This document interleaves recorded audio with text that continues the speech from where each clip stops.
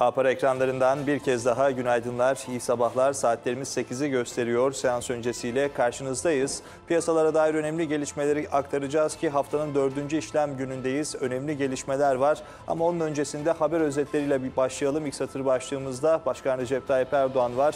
Başkan Erdoğan dün korona virüsüyle mücadele kapsamında eşgüdüm toplantısına başkanlık etti ve toplantı sonrasında da koronavirüsüyle mücadele anlamında 100 milyar liralık bir destek paketi açıkladı. O destek paketinin ayrıntılarını da birazdan aktaracağız. Hemen o destek paketine ilişkin de Hazine ve Maliye Bakanı Berat Albayrak'tan bir değerlendirme geldi. Twitter hesabından bir değerlendirme yaptı Hazine ve Maliye Bakanı Berat Albayrak. Reel sektörü ve esnafı desteklemek için gerekli adımların devreye alındığını dile getirildi ve e, gerekli görülürse ilerleyen zamanlarda ek e, desteklerin de devreye alınabileceğini belirtti. Koronavirüsü tüm dünyada etkisini artırmaya devam ediyor. Son olarak Türkiye'de vaka sayılarında da artışlar yaşanmaya başladı. Yeni vaka sayısı 93'e çıktı ve toplamda da vaka sayılarının 191'e ulaştığını e, Sağlık Bakanı Fahrettin Koca açıkladı ve bir de hayatını kaybeden sayısında artış olduğunu dile getirdi. Twitter hesabından yapmış olduğu açıklamada hayatını kaybedenlerin sayısının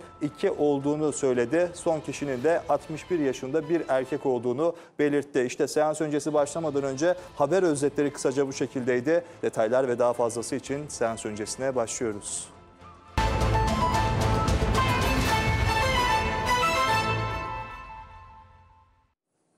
Koronavirüsünün etkileri tüm dünyada giderek artıyor dedik. Tabii dünyada da buna ilişkin önlemler alınmaya başlandı ve devam ediliyor. Son olarak Türkiye'de de dün Başkan Erdoğan başkanlığında bir toplantı gerçekleştirildi ve toplantı sonrasında Başkan Erdoğan 100 milyar liralık bir destek paketini açıkladı. Şimdi o destek paketinin içeriğine bakalım neler var.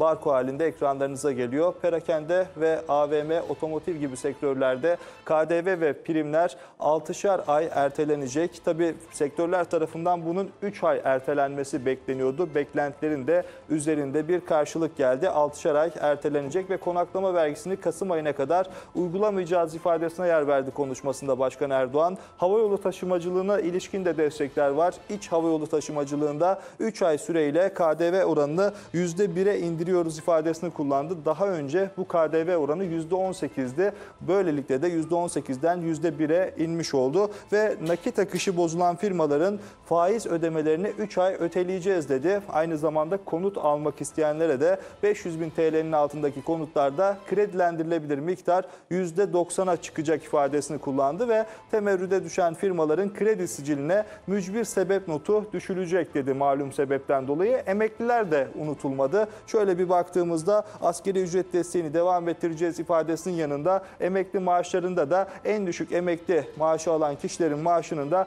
1500 liraya çıkacağını ifade etti ve emekliler için de bayram ikramiyesinin Nisan başında ödemeye başlayacağız dedi. Bayramın gelmesi beklenmeyecek. Nisan başında emekliler için de ikramiyeler ödenecek ifadesine yer verdi. İşte dün açıklanan destek paketine ilişkin kısaca başlıklar bu şekildeydi. Şimdi ise o paketin detayları geliyor ekranlarınıza.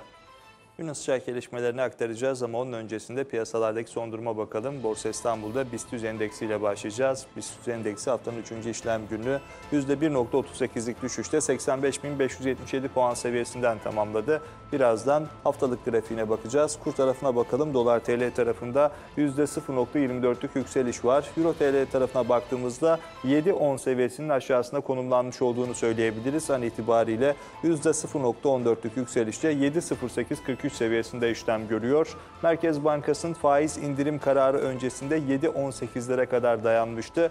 Daha sonra 100 bas puanlık bir faiz indiriminin gelmesiyle beraber Euro tarafında da bir gevşemeyi takip ettik. An itibariyle de 7.0856 seviyesinde işlem görüyor. Euro dolar paritesine baktığımızda oynaklığın çok fazla olduğu bir pariteden bahsedebiliriz. %0.15'lik düşüşü var an itibariyle ve 1.0898 seviyesinde işlem görüyor. Gün içerisinde 1.0861 seviyesine kadar gerilediğini söyleyebiliriz. Zaman zaman da 1.09 ve üzerine test ediyor. Dolar endeksine baktığımızda %0.17'lik yükselişi var. 101 seviyesinin de üzerine çıkmış durumda ve sepet kurda %0.07'lik yükselişi yükselişte 6.79 seviyesini takip ediyoruz. Haftalık BIST endeksinin grafiğine bakalım şimdi. Borsa İstanbul'da BIST endeksi haftanın 3. işlem günü %1.38'lik düşüşte 85.576 puan seviyesinden tamamladı. Bu seviyeye baktığımızda haftalık bazda en düşük kapatmış olduğu seviye olarak karşımıza çıktı ve en yüksek kapatmış olduğu seviye Mart ayının 13'ünde 95.605 puan seviyesi olduğunu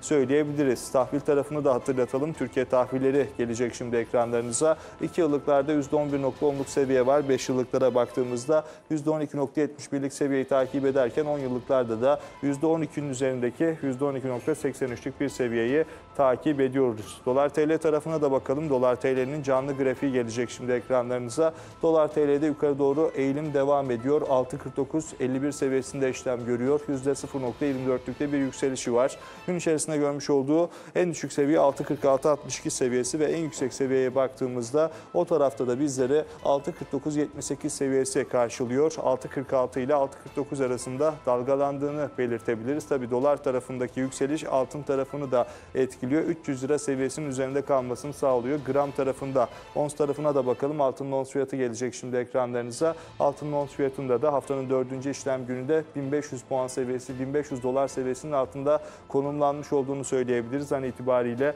1469 dolar seviyesinde ve %1'in üzerinde de bir kaybı var. Gün içerisinde görmüş olduğu en düşük seviye 1465 dolar seviyesi ve en yüksek seviyeye baktığımızda o tarafta da 1498 dolar seviyesini takip ediyoruz. Tabi endeksler tarafındaki düşüşler yavaş yavaş yatırımcı altından da elini çekmesine sebebiyet verdi. Yatırımcı bir süredir altından da elini çekmiş durumda. Bir taraf daha var ki o tarafta da düşüş var. O da Brent petrol. Brent petrole de bakalım. O tarafta da ciddi düşüşleri, ciddi kayıpları takip ediyoruz.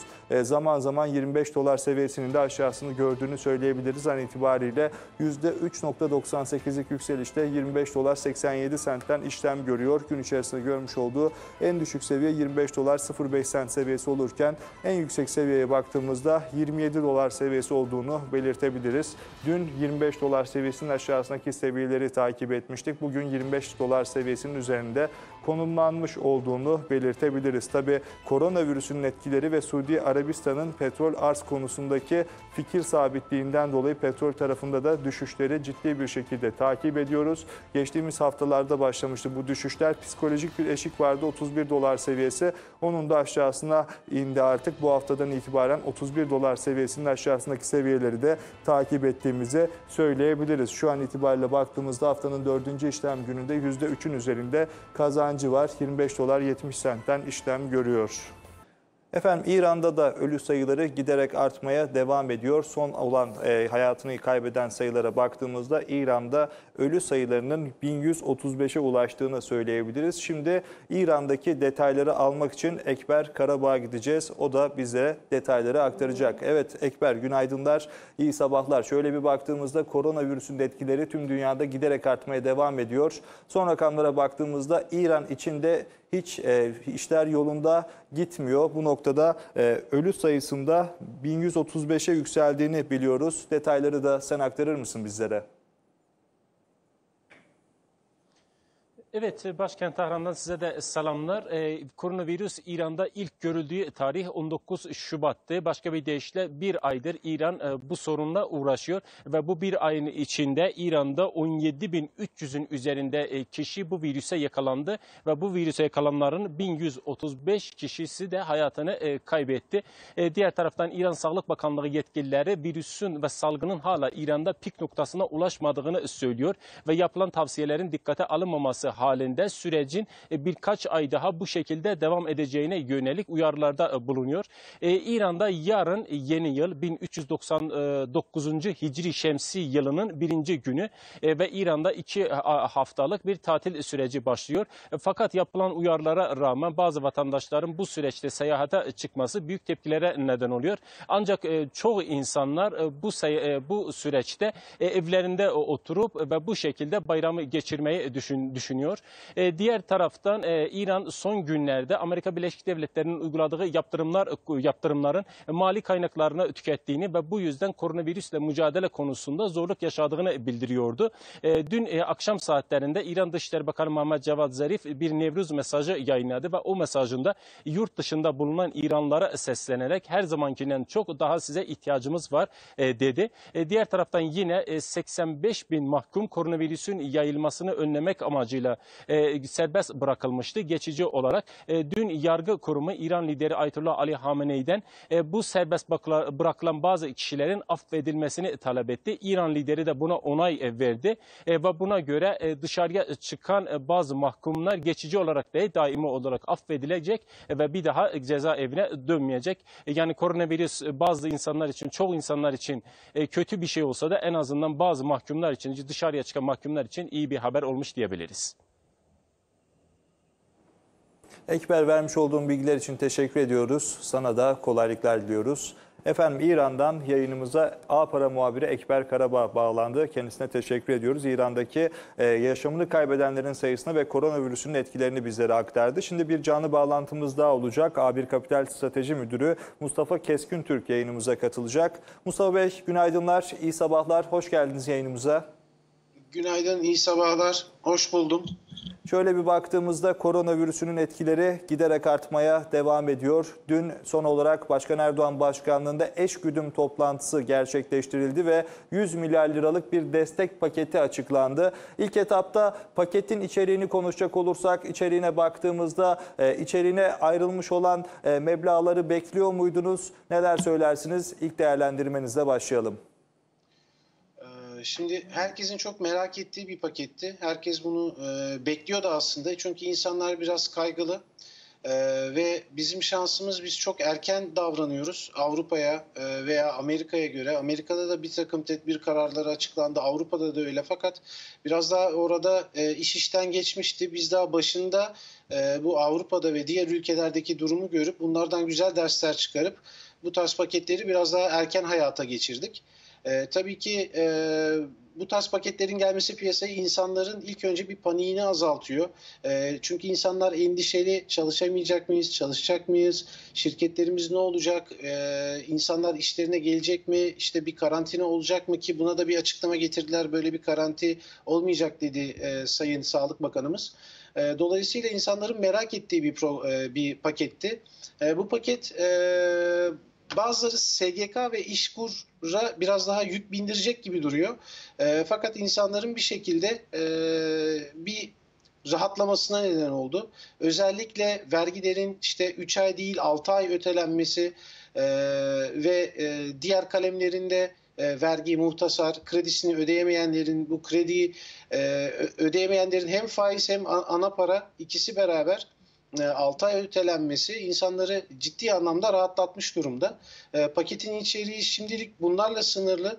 E, burada yaşlılarımıza da güzel destekler var. Özellikle bu e, Covid-19 hastalığı özellikle yaşlı kesimi çok e, etkilediği için işte onların emekli maaşları kapılarına kadar gidecek, evlerine gidecek, ihtiyacı olana hemen kapısında yardım yapılacak gibi önlemler e, hem hastalığın yayılmasını engelleyecek hem biraz daha paniği azaltacak. E, Dolayısıyla bu tedbirleri erken alıyor olmamız da e, bence önemli. Evet, Hazine ve Maliye Bakanı Berat Albayrak'tan da açıklanan destek paketine ilişkin Twitter hesabından bir paylaşım, bir değerlendirme geldi. İhtiyaç olduğu takdirde yeni paketler gelebileceği dile getirildi. Ee, sizce eğer ihtiyaç olursa yeni gelecek olan paketlerin içeriğinde neler gerçekleşir ve bu da piyasaları nasıl etkiler?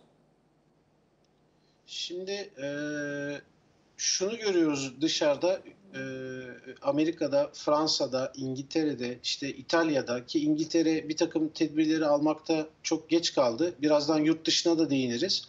E, şimdi piyasaya ne kadar e, enjekte edilse bu e, likidite e, bir şekilde insanlar bunlardan etkileniyor. Fakat yeni bir paket geleceğinin açıklanması işte biz seyrediyoruz, bakıyoruz, e, piyasanın nabzını tutuyoruz. E, işte burada en çok insanların kaygısı ben işimden olur muyum? Nasıl çalışacağım? Evden çalışan evden çalışabiliyorsa çalışacak. Bunlara şirketler mümkün olduğu kadar e, ve hükümetimiz destek veriyor evden çalışmaya hem virüsün yayılması açısından. E, dolayısıyla e, burada işverenlerin kaygıları var. Ben çalışmaya devam edecek miyim? Ee, çalışmaya devam edersem maaşlarımı nasıl, ödeyeceğim? Kiramı nasıl ödeyeceğim? Ee, vergilerimi nasıl ödeyeceğim diyorlardı. Şimdi onlar bir şekilde ertelendi, ötelendi 6 ay. Ee, yeni paketlerin geleceğinin de açıklanması e, rahatlatıcı etkisi olacaktır piyasalarda. Yani bu seviyeden sonra piyasalara gelecek her türlü olumlu haber e, çok sevinçle karşılanacağını düşünüyorum ben. E, bir taraftan da hayat devam ediyor. İnsanlar işlerine gidiyor, gitmek zorundalar. E, e, bazı şirketler uzaktan çalışmaya müsait değil. Yani dolayısıyla biz böyle yaşayacağız. E, salgın evet çok fazla insanı etkileyebilir ama genç nüfusta e, bu salgının etkileri sadece e, ufak bir grip, belki ayakta atlatma gibi geçecek. E, dolayısıyla panik yapmadan biz hayatımıza devam edeceğiz. Hükümetimiz de arkamızda, bize desteklerini veriyor. E, piyasayı izlediğini, e, bu desteklerin yeni paketlerin kapıda olduğunu söylüyor. Dolayısıyla biz e, hayatımıza devam edeceğiz. Sadece biraz daha yaşlılardan uzak duracağız. Biraz daha bu önlemleri e, uygulayacağız. Basit önlemler, el yıkama, işte 14 gün kendinizden şüpheleniyorsanız izolasyon gibi tedbirlere mutlaka uymak gerektiğini düşünüyorum. E, bu tedbirlerle beraber yeni paketlerin geleceğinin de e, söylenmesi e, ileride bence piyasaya biz, bizim açımızdan çok olumlu olacak. Ya bizim avantajımız zaten hem Avrupa'dan hem e, Amerika'dan hem diğer ülkelerden biraz daha geç geldi buraya. Rakamlar artacaktır. Tabii ki mutlaka artacak. Bu bir salgın hastalık. Biz de milletçe bununla mücadele ediyoruz. E, rakamlar artacak. Belki e, üzücü ama ölü sayıları da artacak. E, fakat bunları ne kadar sınırlı tutabilirsiniz? Peki Mustafa Bey gelen desteklerin borsa özelinde baktığımızda e, oradaki şirketlere yansımaları nasıl olacaktır? Nasıl yorumlarsınız? Ya mesela şimdi dün akşam e, Türk Hava Yolları ile ilgili bir açıklama yapıldı. Türk Hava Yolları'nda seyrediyoruz. Her türlü desteğe hazırız. Bugün mutlaka Türk Hava Yolları e, hissesinde e, bir takım dirençler göreceğiz. Şimdi eksi bir açılış bekliyoruz fakat bu yurt dışından kaynaklanıyor. Biraz Amerika'dan bahsetmek lazım.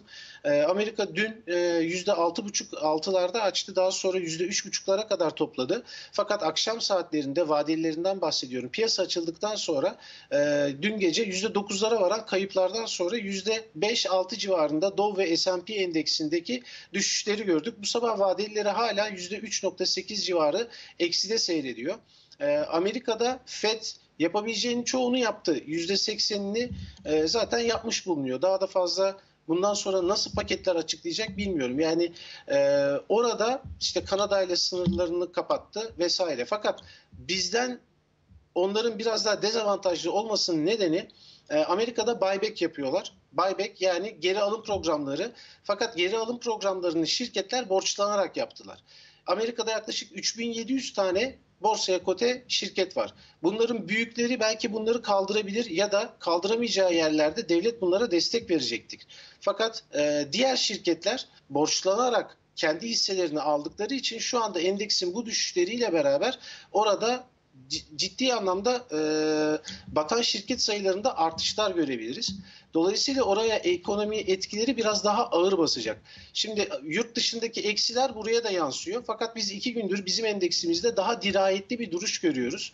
E, iki gündür endekste e, marjlar biraz daha daraldı pozitif tarafa geçiyoruz, negatif tarafa geçiyoruz ama biraz daha dirayetli görüyoruz. Bizim borsamızdaki şirketlere etkisi mutlaka biraz daha iyi olacak. Fakat yurt dışındaki paralelliği biz burada da fiyatlıyor oluyoruz. Fakat biraz daha dirayetli durmaya başladık. E, dolayısıyla ben burayı e, eğer e, bu bizde çok fazla yayılmaz e, ve işte bunun aşısı e, bu aralarda gelirse Bizim endeksimiz bundan çok daha iyi çıkacak. Ülkemiz de öyle. İşte turizm rakamları muhtemelen burada ileride turizm patlaması da görebileceğiz. Eğer e, bu e, şeyden iyi çıkarsak. E, şimdi Avrupa tarafına geldiğimizde Avrupa'da Fransa tahvillerinde dün satışlar vardı. İtalya'ya ECB'nin e, Avrupa Merkez Bankası'nın bir müdahalesi söz konusu. E, sterlin dolara bakıyorsunuz 1985'ten beri en düşük seviyede. Euro dolar paritesi 1.09'da. Dolayısıyla dolar paritesinde e, biraz yükselme var. E, buradaki dolardaki yükselmenin bir kısmının nedeni de buradan kaynaklanıyor. Ama genel olarak baktığımda yurt dışına göre, yurt dışı endekslerine göre bizim daha dirayetli durduğumuzu söyleyebilirim.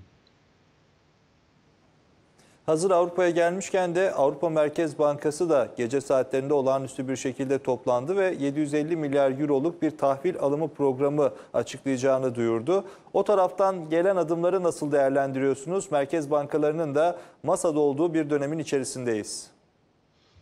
Ay Şimdi Merkez Bankası yurt dışı endekslerine bakıyorum. Yurt dışı endeksleri, vadelileri e, hala ekside seyrediyor.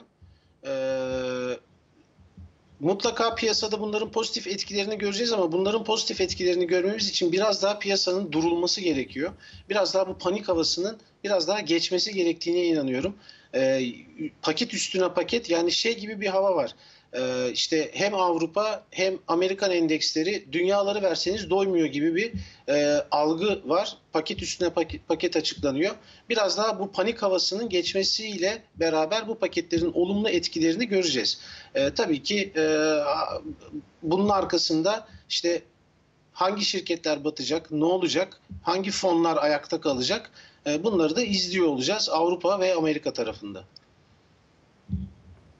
Evet Avrupa özelinde biraz İtalya'ya değinecek olursak o tarafta hem vaka sayısında hem de hayatını kaybedenlerin sayısında ciddi artışları takip ediyoruz. Dün sanayi rakamlarını da o tarafta takip ettik. Rakamlar pek de iç açıcı değildi esasen ve baktığımızda da o tarafta da e, endeksler bazında ciddi düşüşleri takip ediyoruz. Peki İtalya tarafında e, hangi e, meseleleri takip edeceğiz rakamlar anlamında baktığımızda? Çünkü e, sayı artıyor, vaka sayısı artıyor ve bunun da piyasaya yansıması hiç de olumlu olmuyor. İtalya şimdi karantina altında e, geçen haftalarda baktığımızda vaka sayısında e, azalışlar meydana gelmişti. E, şimdi içerideki vakalardaki ölüm sayıları biraz daha fazla arttı. Bunun bir tepe noktası olacak. Ondan sonra da biraz yavaşlaması olacak. İtalya'daki karantina muhtemelen bu hızın önünü kesecek. Ama piyasaya etkileri, piyasaya yansıması, oradan çıkan haberler tabii ki etkiliyor ama artık insanlar İtalya'yı değil, İtalya'yı nasıl kurtaracağını biraz daha şey yapıyorlar. Çünkü İtalya yardım istedi fakat herkes şimdi kendi derdinde. Ee, Euro tarafında, e, özellikle Avrupa Birliği tarafında herkes biraz daha kendi derdinde. Şimdi İtalya önemli bir e, ülke e, finansal açıdan. Dolayısıyla orayı bir şekilde yüzdürmeye çalışacaklar. Ama bu panik ortamında herkes biraz daha kendi derdine bakıyor. Ee, İtalya ya toparlanması biraz daha uzun sürecek. Biraz daha zor olacak İtalya'nın toparlanması. Avrupa'dan destek almadan bunu yapabileceğini ben hiç zannetmiyorum. Ee, dolayısıyla bu iş bittikten sonra nasıl bir enkaz kalacak onu hepimiz seyredeceğiz, göreceğiz. Şimdilik bir şey söylemek zor. Yani bunun ekonomik etkilerini şimdiden tahmin etmeye çalışmak ya da nasıl arkasında bir zarar bırakacak ya da e, nasıl ECB'den e, bir paket gelecek. Bunları nasıl hayata çevirecekler? Bunları şimdiden tahmin etmek zor. Evet Euro bölgesini konuşmuşken şöyle pariteye de biraz değinmek lazım. Euro dolar paritesinde ciddi oynaklığı takip ediyoruz. İki gün önce 1.11.70'leri takip ederken bugün itibariyle baktığımızda zaman zaman 1.08 seviyelerini test etti ve an itibariyle de 1.09.01 seviyesinde işlem görüyor.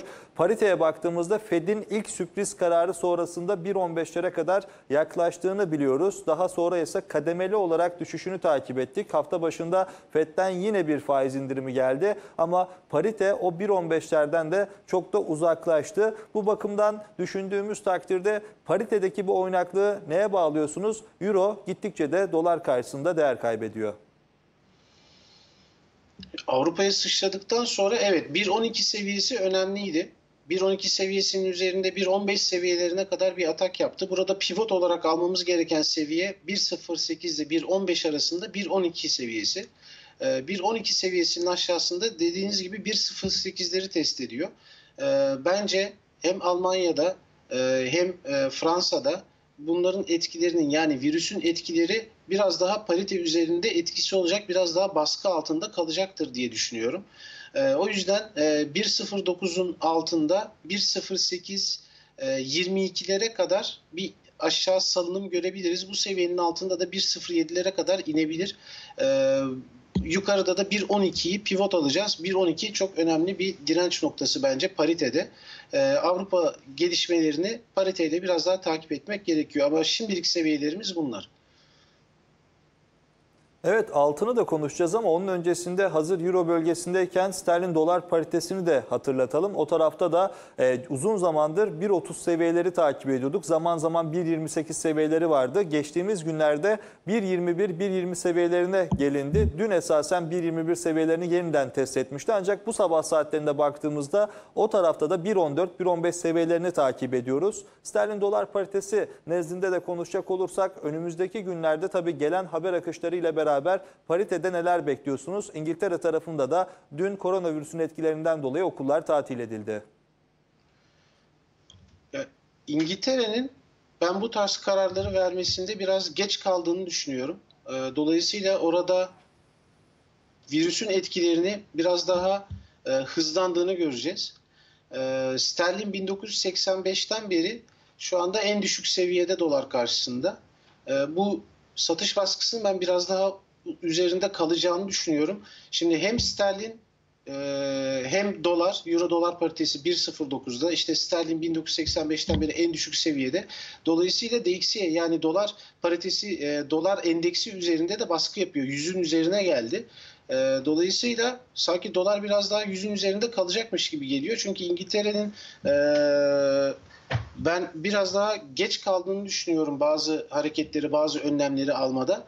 Ee, biraz daha kendilerini güvenli bölge gibi görüyorlar ama e, bu virüs hiçbir şey dinlemiyor. Dolayısıyla e, sterlin dolardaki baskısının ben biraz daha süreceğini tahmin ediyorum. Petrole de değinecek olursak Brent petrol tarafında geçtiğimiz haftalarda 31 dolar seviyesi psikolojik olarak takip ettiğimiz seviyeydi. O seviyenin de bir hayli altına indiğini biliyoruz. Bugün için kazançları var. %4'e yakın kazancı olmasına rağmen 25 dolar seviyesinde e, konumlanmış durumda. Amerikan ham petrol tarafında da 22 dolar seviyelerini takip ediyoruz. Petrol nezdinde konuşacak olursak seviyeler gittikçe aşağı doğru çekilmeye başladı. Hatta yapılan yorumlar tek haneler görüleceği yönünde. Sizin öngörünüz neler? Petrol tarafında evet ilginç bir petrol savaşı seyrediyoruz. İşte e, Su, Suudların e, Rusya'ya gidip bu petrol fiyatlarını ya biraz yukarı çekelim ya da biraz arz kısıntısını yapalım demesi. Rusya'nın da buna onay vermemesi. Tabii Amerika'daki Shell e, üreticilerini yani e, kaya gazı üreticilerini biraz daha sıkıştırmak istedi Rusya bu anlamda. E, Ondan sonra Su, Suudlar, Su, Suudiler de e, yaklaşık e, 1 milyon varil ekstra kapasite ortaya koyacaklarını söylediler. Bunun biraz baskısı oldu. Arkasından Rusya 500 bin varil daha ben buna ekliyorum dedi. E, bu biraz e, Suudi Arabistan'ın Rusya'dan e, biraz daha intikam alması gibi duruyordu. E, dolayısıyla öyle başlayan bir aşağı doğru hareket e, o zaman 33 dolardaydı. Şu anda 25 dolar seviyelerine kadar getirdi. E, aşağıda 20 dolar seviyesi görülür mü e, bilmiyorum ama baskının baskının da biraz daha devam edeceğini düşünüyorum. Çünkü bu kadar yani ekonomilerin durduğu bir dönemde, insanların eve kapandığı bir dönemde, talebin e, petrole çok olmadığı bir dönemde e, bu tür hareketleri yaşamak normal. E, bir de araya petrol savaşları girince 25 seviyesini gördük. Bu bizim açımızdan olumlu çünkü petroldeki her 10 dolarlık seviye bizde 6 milyar dolar civarında e, cari açımıza bir katkısı var. E, dolayısıyla aşağı inmesi bizim için olumlu. E, şimdi petrol fiyatlarında da bir indirime gidildi zaten e, bizde benzin fiyatlarına. E, bizim ekonomimiz açısından olumlu. Fakat buralarda çok da fazla kalacağını ben e, düşünmüyorum. Daha doğrusu seyredeceğiz gelişmeleri. Hı hı. Eğer e, karantinalar Avrupa tarafında biraz daha devam ederse dolayısıyla petrolün üzerindeki baskı da bence biraz daha devam eder. Tek, tek haneli seviyelere gelmemiz, gelmemiz enteresan olur gerçekten.